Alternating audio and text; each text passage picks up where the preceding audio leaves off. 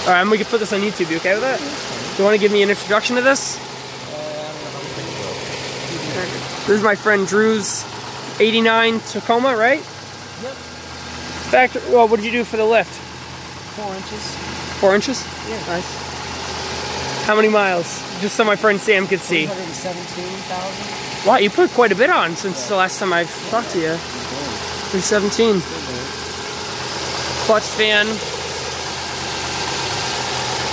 Not bad.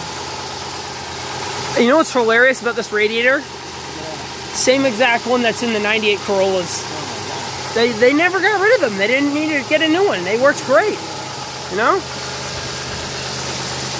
I've never seen so many vacuum lines though. That's the only downside with these.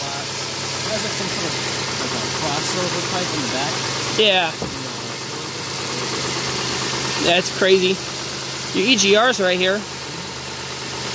You know, this is vacuum based. You want to make your engine run better, I just unplug that if I were you. Huh? Yeah, I mean, all the EGR does is recirculate exhaust gases. It helps clean up the emissions for NOx, but I mean, like in a truck like this, you're recycling unused air.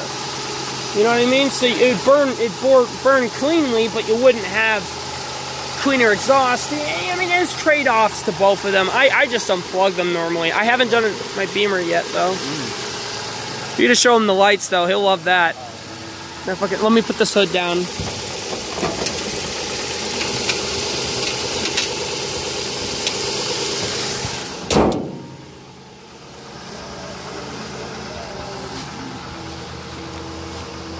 Put your regular lights on. There you go.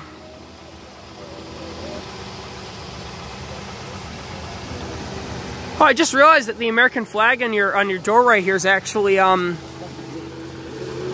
it's actually reflective. Oh yeah, show your bed lights right here.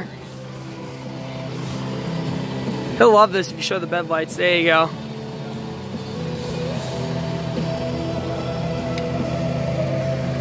Nice ass tires.